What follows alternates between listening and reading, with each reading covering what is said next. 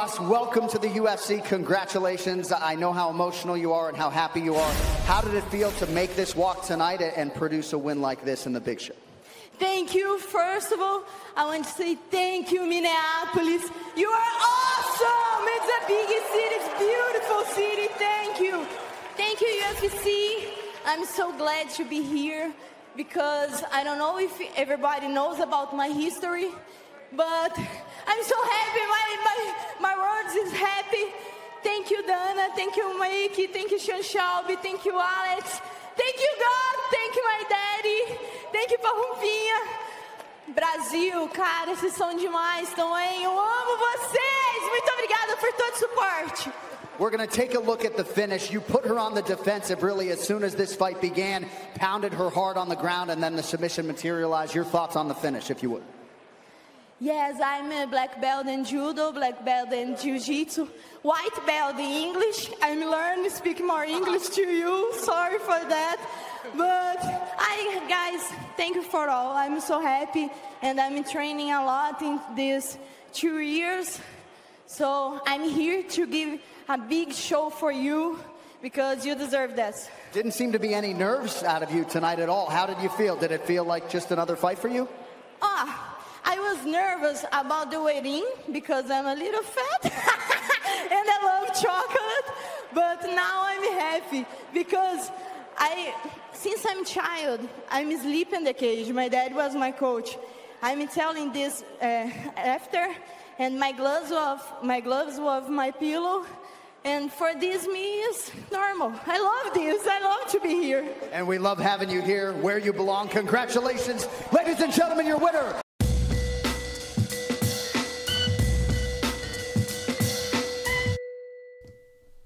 Luisteraars, dit is Bloedsport, de podcast voor de MMA-watcher en de vechtsportkijker in het algemeen.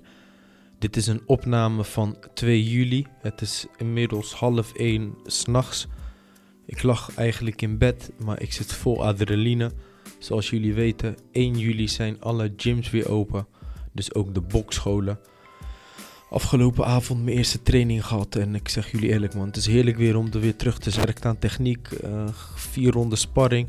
Afgelopen maanden ook actief geweest. Ik heb de eer gehad om, uh, om te werken met Delano James, de huidige weltergewichtkampioen, nationaal kampioen. Uh, ja, ik kan niet wachten om morgen weer actief te zijn in de, in de bokschool man. Maar in ieder geval laten we starten. Dit is de vierde aflevering van de scouting series waar ik het heb over relatief onbekende en relatief onervaren vechters, waarvan ik denk dat ze hoge ogen gaan gooien en zelf eventueel kampioen kunnen gaan worden. Dus laten we weer starten. In deze vierde aflevering ga ik het hebben over de UFC strafgewicht divisie. Dat is rondom de 115 lbs, dus rondom de 52 kilo. Uh, de vrouwendivisie, om uh, even duidelijk te zijn. En mijn keuze is hierbij gevallen op Amanda Ribas. Of hoe je het in het Spaans uitspreekt, dat is Amanda Ribas. Uh, geboren 26 augustus 1993, dus nu 26 jaar. Geboren en getogen in Varginha, zuiden van Brazilië. Rondom de 1,63 meter, dus 5 feet 4. Reach van 66 inch, dat is rondom de 1,68 meter. En vecht vanuit de orthodox stance een record van 9 winstpartijen en 1 verlies. Een UFC-record van 3 winstpartijen en 0 verlies. Debuut vorig jaar in juni tegen Emily Whitmire. Daarna in oktober vocht ze tegen Mackenzie Dern. Die won ze ook. En afgelopen maart vocht ze tegen Ronda Marcos. In haar UFC-profiel staat ze beschreven als een judo-vechtster. Maar dat gaat veel dieper dan dat, denk ik. Black belt in BJJ en judo. Ook een Muay Thai uh, beoefenaar traint onder team Marcelo Ribas. Dat is tevens haar vader, een judo, BJJ en Muay Thai coach en beoefenaar geweest. Transitie gemaakt naar American Top Team in Coconut Creek, Florida sinds 2017, waar ze eigenlijk in dat jaar haar debuut zou maken. Haar vader is haar hoofdcoach, waar ze nu dus ook wordt ondersteund en gecoacht door American Top Team en daar dus ook een deel van haar trainingskampen afwerkt. Zoals we haar hoorden zeggen in de intro van deze podcast, dat was na haar winst tegen Emily Whitmire vorig jaar juni, is ze dus opgegroeid met mixed martial arts, voornamelijk door haar vader. En staat haar leven al sinds haar geboorte in het teken van mixed martial arts en een devotie hieraan en de lifestyle daaromheen. Geen BJJ trainen als kind, werd gepest op school omdat ze te gespierd werd trouwens. Stopte hierdoor en ging op dansen. Uh, dat vond haar vader niet zo leuk. Uh, door de vele vechtpartijen op school van vrienden, onder andere werd ze vanuit huis gestimuleerd om toch weer BJJ op te pakken en te combineren met judo om haar fundamenten te versterken en haar uh, BJJ te verbeteren. Geen wonen in Bella Horizonte bij Minas Club als kind in de staat Minas Gerais in Zuidoost-Brazilië. Dat is rondom de streek waar ook Rio de Janeiro en Sao Paulo liggen. Dit is een plek waar Olympische en potentiële Olympische sporters werden ondergebracht om te trainen en om zich voor te bereiden op toernooien. Werd uiteindelijk zo goed in judo dat ze de Braziliaanse nationale kampioenschappen won op 14-jarige leeftijd. Werd geselecteerd en deed uiteindelijk ook mee voor de kwalificatietoernooi voor de Olympische Zomerspelen van 2012 in Londen moest uiteindelijk toch afhaken en terugkeren uh, naar huis vanuit Europa, waar ze deelnam aan kwalificatietoernooien omdat ze werd geteisterd door een knieblessure.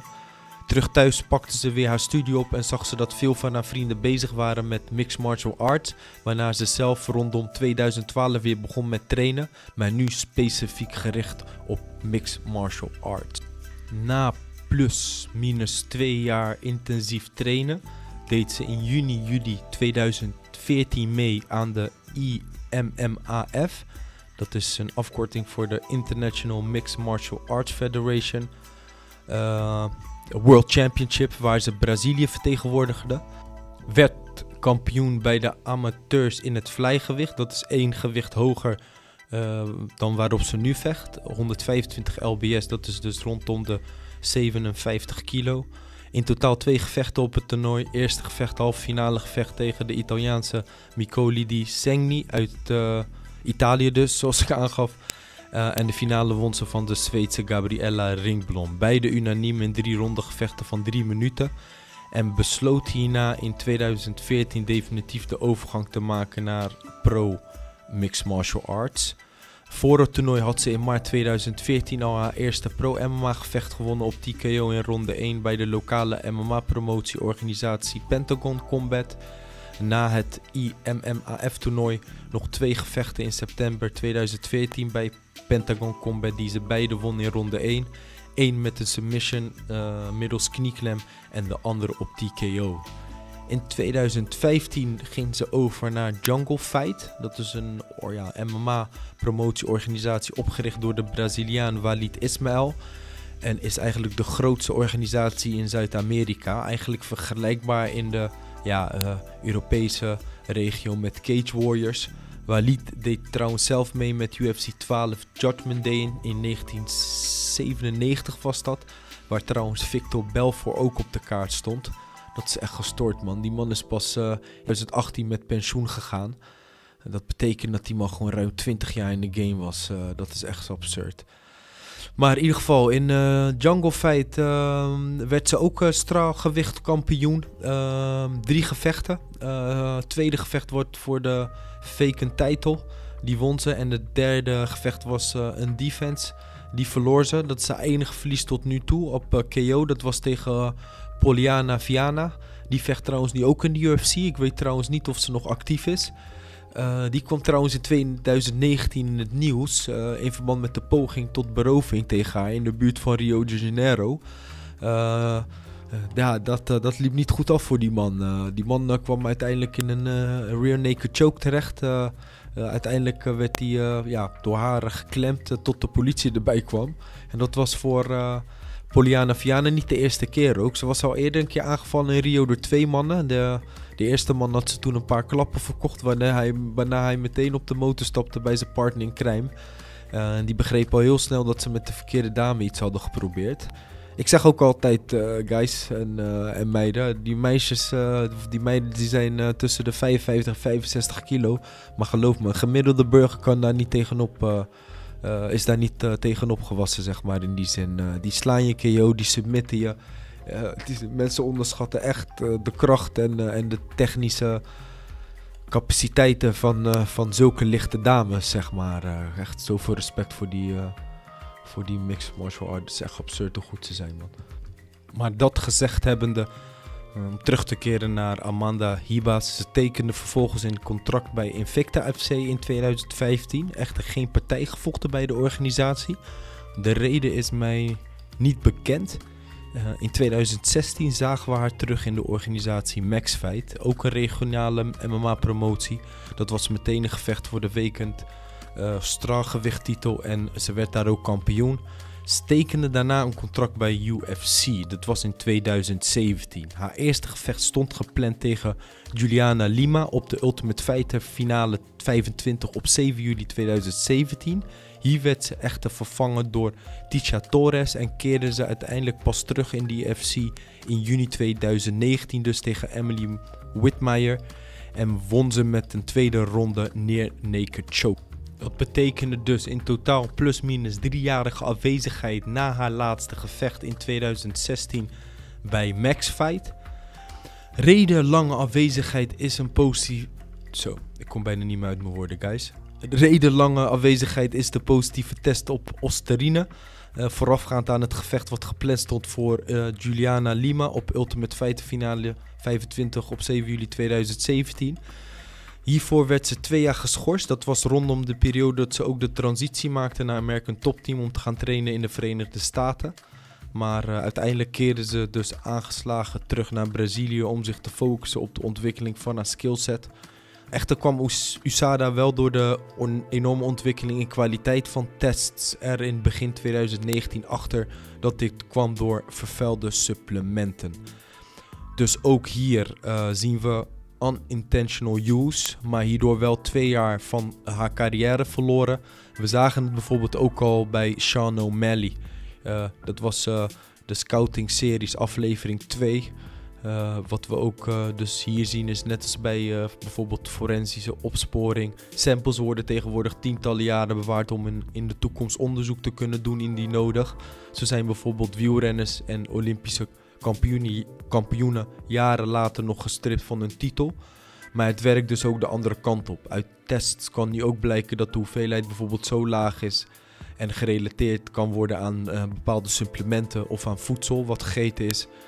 Dus uh, ondanks de verloren jaren is haar naam in ieder geval wel gezuiverd om het uh, nog positief te benaderen. En zoals ik ook al eerder aangaf in meerdere podcasts en ook wat je ziet bij Sugar Sean O'Malley, kan een, uh, lange, een langere afwezigheid, vooral op jonge leeftijd, ook positief uitpakken. Uh, bij, haar, uh, afgelaste debuut in, bij haar afgelaste debuut in 2017 zou ze nog maar 23 jaar zijn. Ze had dus nog voldoende tijd. En we hebben het gezien, dus ook, ja, ik geef O'Malley maar als voorbeeld dat wanneer je de tijd neemt en die ook goed benut om technisch, fysiek, mentaal te groeien als mixed martial artist, je in twee jaar op een hele andere level kan zijn en ook een hele andere vechter kan zijn eigenlijk. Laten we nu ook kijken naar haar skillset. Althans, wat ik zie als ik naar haar gevechten kijk tot nu toe. En datgene wat mij opviel in haar debuut is haar volwassenheid op deze relatief jonge leeftijd en haar overal allround MMA game. Door haar judo en BJJ achtergrond echt heel high level op de grond. We zagen dit in al haar gevechten in de UFC tot nu toe. Vooral tegen Mackenzie Dern. Een uh, ja, Brazilian uh, Jiu-Jitsu wereldkampioene. Zie het als de vrouwelijke Damien Maya. Amanda Hibas wist het gevecht voornamelijk staan te houden. En de momenten dat ze op de grond belandde, toonde ze echt uitstekende defense en transities om het gevecht weer staan te krijgen. Er was zelf een moment dat ze Dern naar de grond smeet met een uh, gigantische heupzwaai. Dat ik dacht van wauw man, dat deed ze tactisch zo snel en qua timing zo goed. Dat droop echt het talent meteen vanaf. Hield zich strak aan de gameplan en won het gevecht unaniem met 30-27 in een uh, drie-ronde gevecht van 5 minuten. Terugkomend op haar debuut tegen Emily Whitemeyer straalde ze echt enorme rust uit, volwassenheid hanteerde een hoog tempo waar ze met de voorhand jab eigenlijk Emily lokte voor een aanval. Waarna ze vervolgens countert met de combinatie van 3-4 stoten. Hier en daar gevolgd ook door spinning backkicks. Uh, ja, daar uh, uh, gooit ze je echt tegen de kooi mee. En dan gaat ze echt heel vaak voor de double leg takedown. En domineert ze eigenlijk heel de eerste ronde tegen Emily Whitemeyer. Wanneer ze in ronde 2 Whitemeyer submit naar echt venijnige ground and pound. Met een dus een uh, rear naked choke. Haar laatste gevecht in maart 2020 tegen Randa Marcos in uh, UFC Brasilia. Eventen waar uh, voor het eerst geen toeschouwers aanwezig waren wegens de corona perikele crisis, hoe je het ook noemen wil. En het laatste event van de UFC voor de lockdown. Dat was echt een uh, strijking en een BJJ-clinic tegelijk. Marcos is echt een hele solide vechter met goede worstel en ground game. En staand ook echt heel goed. Ze won het gevecht met 30-25. 30-25 en 30-26. Nou, overtuigende kan niet. Dus twee juryleden scoorden twee rondes 10-8. Uh, en één jurylid dus één ronde 10-8. In een gevecht ook van uh, drie rondes keer 5 minuten. Staand zag je dat ze echt duidelijk heeft gewerkt aan haar head movement. Vergeleken met haar tijd ook uh, in de IMMAF. Ik had daar een gevecht bekeken en dan zag je dat, dat, dat, dat ja, die hoofdcoördinatie, dat was, ja, dat, dat, was continu nog in de center lijn. Maar dat zag er nu echt een stuk beter uit. Werkt goed vanuit de voorhand, vanuit de, vanuit de orthodox stance. Vaak een bereik- en reach voordeel. Die gebruikt ze ook goed door de voorhand, door de jab vooral om de tegenstander te lokken. En counter daarna graag. Snelle stoten voor de divisie. Snelle movement. Heel lichtvoetig. Goed in en uit. Uitstekende 1-2 lange combinaties. Discrimineert ook zeker niet. Goede stoten naar het lichaam. Ook die uitstekende spinning back kicks naar het lichaam hoor. Die zijn echt goed. Inside, inside leg kicks gebruikt ze ook. Eigenlijk nooit kicks uh, naar het hoofd. Dat verbaast me eigenlijk wel. Uh, met de achtergrond ook een Thai heel sterk in de clinch. goede hoofdpositie als hij het tegen de kooi aan heeft. Van daaruit met knieën naar het lichaam werkend. Als de mogelijkheid er is, brengt ze je graag naar de grond. Wat ik net aangaf, echt verneidige ground and bout. Vanuit, vooral vanuit de, de half guard. Ze spleet daarmee echt die Marcos open. De, haar neus bleef ook doorlopend bloeden. Maar uh, heel bewust ook van haar tegenstanders. En kan het, bevecht, kan het gevecht bijvoorbeeld ook staand houden als dat nodig is. Dat zag je bijvoorbeeld ook tegen Dern, waarvan ze weet dat ze op de grond gewoon te veel uh, gevaar loopt. Uh, hoe comfortabel ze staand is, dat zag je ook bijvoorbeeld tegen Mark. kwam daar in een soort van kickbox, boxhouding met de heupen hoog. Uh, open voor een takedown eigenlijk tegen een hele solide worstelaar en een BJJ-beoefenaar.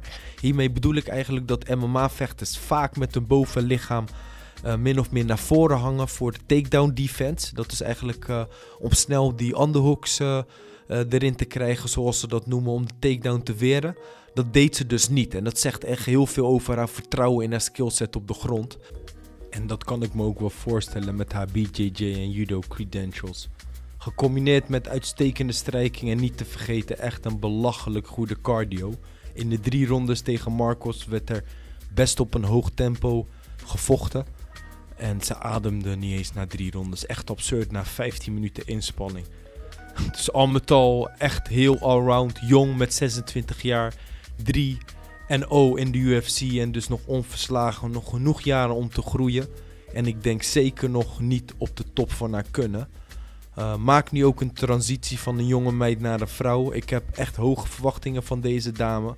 Met in de top 5 heb je natuurlijk nog wel monsters zoals uh, ja, Zhang Weili, Joanna, uh, Rose, Jessica Andrade, Tatjana Suarez en Claudia Gidelia. het is denk ik wel verstandig om rustig naar de top toe te werken. Ik denk dat ze uh, ja, meer moet kijken nu naar tegenstanders als Tisha Torres, Angela Hill, uh, Michelle Watterson. We hoeven echter niet lang te wachten voordat ze weer te zien is. Ze vecht namelijk tegen Paige van Zandt op UFC 251, 11 juli in Abu Dhabi, Yes Island, als opener van de main card. Dit betekent dus vier gevochten uit straks, als ze dat gevecht heeft gehad in één jaar. Ze is dus heel actief sinds haar debuut vorig jaar in juni en dit is een belangrijk aspect om te groeien. En ervaring op te doen en te ontwikkelen in deze fase en leeftijd van, je, van haar carrière. En wat een platform krijgt ze als opener van de maycard van een pay-per-view event. Tegen Paige van Zandt, die miljoenen volgers heeft op Instagram door haar lifestyle marketing.